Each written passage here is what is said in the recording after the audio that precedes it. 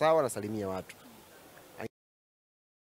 Ingekuwa ule bwana unafundisha Yanga, Mungu kampa hiyo bahati, maana ni bahati angepata, afundishe Yanga, anafunga maele hapa, yeye uko Ubungo. Kila siku, unafunga mageti hapa, bwana mzuieni huyo. Mambo gani? Niambie bwana. Hapa, ah, ni kweli. Watu dakika ya mwisho wanataka, wanataka ushindi, wewe unawasawazisha goli, unakimbilia kwenye manondo na mashabiki. Kweli? Sisi tunampa mtu chuma tatu, kocha ametulia, amerelax, hana pupa.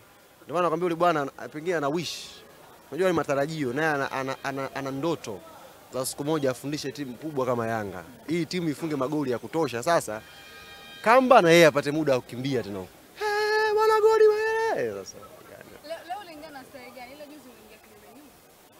ile ni ya kimataifa, ni special kwa ajili ya kimataifa eh, eh, kimataifa. Mbele. Yanga ulizo daima mbele, nyuma mwiko. Ile sana ya kimataifa. Na katika mtu ana wakati mgumu wiki hii ni yule babu ile mechi. Haki ya Mungu ana wakati mgumu kwelikweli, kwa sababu watu maelekezo humu hapa watembee kilomita 30 nyuma nyuma, wamefuata amechukua tatu. Wewe mchezo ni watu ana hali ngumu, ule mzee ana hali ngumu sana. Unajua mtu mzima ukimwambia jambo la ovyo na akalifatisha kwa uovyo wake likienda kumtokea tofauti ana- anasikitika sana. Yaani wewe imagine unapewa maelekezo tembeni kilomita 30 kinyume nyume, na nyie kweli mnaingia kwenye gari mnatia rivers mnarudi mpaka taifa jamani, zikawa tatu eh? Iliingiaje kama kuna nguzo? Wewe unaangalia nguzo kwenye kutoka tu hivyoingia. Wewe vipi bwana? Mbona fanya Dar es Salaam tupajui bwana? Kwa hiyo nguzo kwenye kutoka, tu, kwenye kuingia nguzo hazipo. Acha mambo yako bwana. Nasemaje, yule mzee ana wakati mgumu kwelikweli. Watu kilomita 30 kawatembeza kinyume nyume, umechukua tatu. Wamekuja kimbele mbele wale.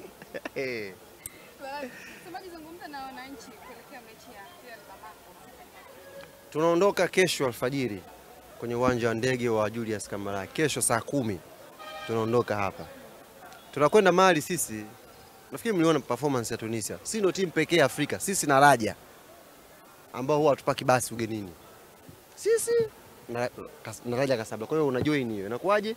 Yanga Casablanca ndio timu mbili pekee ambazo huwa hazipaki basi ugenini. Kwa hiyo tunakwenda Mali kutafuta ushindi. Yaani si kwenye kundi letu hatu focus kwamba sisi tukamuinde nani, a tunataka tufanye vizuri ili tuweze kufuzu kwenye, kwenye kundi letu tukiwa na alama nzuri. Kwa hiyo niwaambie mashabiki na wanachama wa Young Africans tunavyoondoka kesho kwenda Mali, na ndio kesho hiyo hiyo tunaanza mipango ya mchezo wetu wa nyumbani dhidi ya hawa hawa Bamako, tutarudiana nao hapa.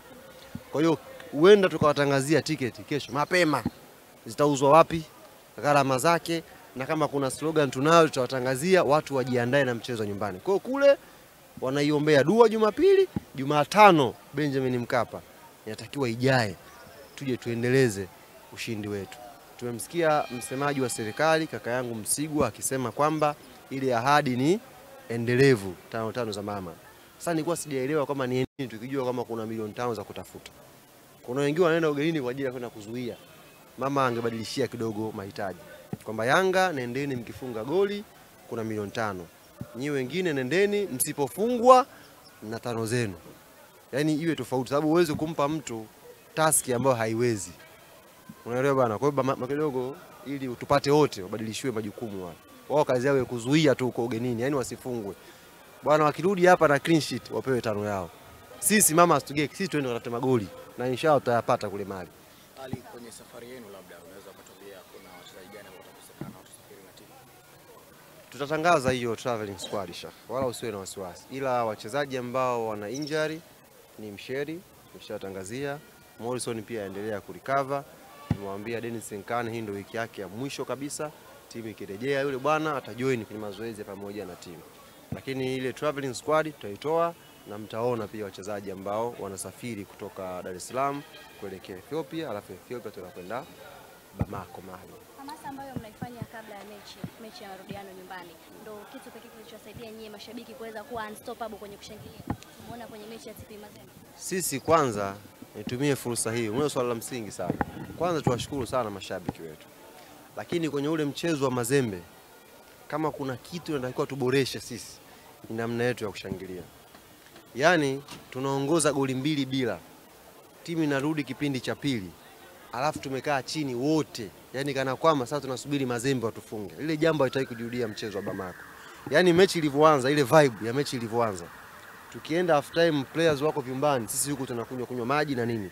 Tukirudi kipindi cha pili, ile filimi inapopulizwa, nataka tuanze na moto ule tena. Kwa sababu timu inapoifunga always tegemea na react. Kwa katika vitu ambavyo hatukufanya vizuri mchezo wa Mazembe ni kuto kushangilia kipindi cha pili mpaka tupofunga bao la tatu. Ile jambo hataki kuruhusu kwa mchezo wa nyumbani. Kwa hiyo hamasa safari hii naamini kabisa mashabiki wameenjoy kwanza performance ya juzi na naamini wanaisubiri kwa hamu tena Young Africans kwenye mchezo wa kimataifa hapa. Kwa hiyo issue ya kujaa tena sina wasiwasi. Najua watakuja wengi na Mkapa itakuwa full house siku ya Jumatano. Sasa nataka tufundishae namna ya kuisupport timu. Nyakati gani timu inahitaji mashabiki. Ndicho tutakachokifanya wiki hii inayoanza ili mashabiki wajue muda gani mnaweza mkakaa chini na timu ikawa kwenye madhara. Wale Mazembe tulivyotulia wale second half ndio wakawa na nguvu, wakawa wanacheza, lakini kipindi cha kwanza mashabiki wako na moto majukwani, muda wote Mayele hawezi kusimama. Yaani wewe muda wote mashabiki wanashangilia, wana- ukishika mpira wanashangilia, huwezi kusimama, lazima utakimbia, utajitoa kwa ajili ya, ya, ya kuhakikisha wanafurahi. Kwa hiyo tutakuwa tunawafundisha mashabiki wetu mchezo wa nyumbani dhidi ya Bamako siku ya Jumatano ziwe 90 minutes za kushangilia kweli, sio 90 minutes za kukaa na kusikilizia. Shukrani sana.